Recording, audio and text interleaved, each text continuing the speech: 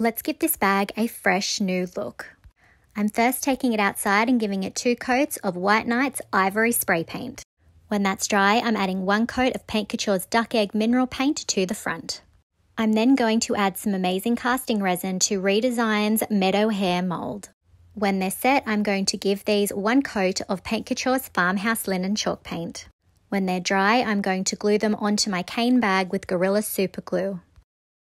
Once my glue is set, I'm going to take a wet wipe and do a little bit of wet distressing on that duck egg blue.